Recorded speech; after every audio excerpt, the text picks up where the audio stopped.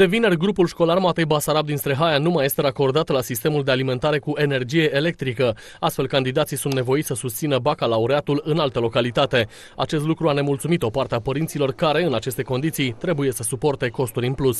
Elevii sunt foarte nemulțumiți după ce că nu sunt bani, părinții sunt în suburbiile orașului Strehaia, sunt foarte săraci, acum să chinuie să ajungă la Drobeta nu Severin pentru a susține examenele astea de toamnă.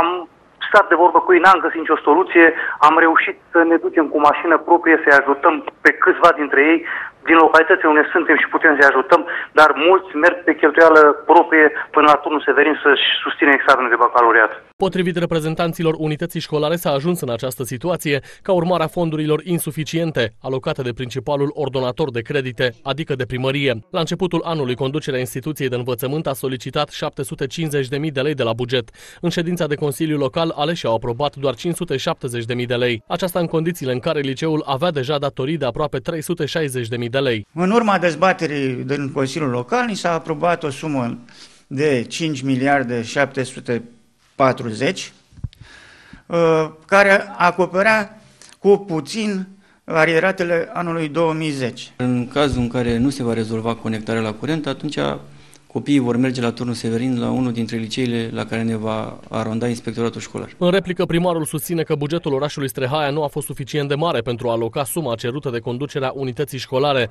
În plus, acesta s-a arătat uimit de valoarea facturii la energie electrică. Domne, cum e consumul ăsta de curent electric? De unde provine consumul ăsta de curent? Că și pe mine mă îngrozește. Situația nu l-a lăsat indiferent nici pe reprezentantul guvernului în teritoriu. Acesta a trecut pragul unității de învățământ și al primăriei orașului Strehaia. După o discuție cu edilul șef, a fost găsită și o soluție de compromis. Eu voi căuta din sumele încasate din impozite și taxele locale să fac o rectificare de buget și până miercuri să mai cresc bugetul cu încă 600 de milioane, bugetul grupului școlar Matei Basarab. Am avut o discuție cu primarul care mi-a promis că în 48 de ore va aloca o sumă de bani o sumă de bani pe care, care se face direct către CES. Voi avea o discuție și cu cei de la CES pentru a reașelona, pentru că suma se ridică la 2 miliarde 400 de milioane bani vechi și în concluzie sper ca până joi să toate unitățile de învățământ să aibă energie electrică. În cazul în care se vor respecta termenele asumate de ambele părți, cei 130 de candidați de la Colegiul Matei Basarab au șanse să susțină probele scrise ale concursului de maturitate la ei în liceu.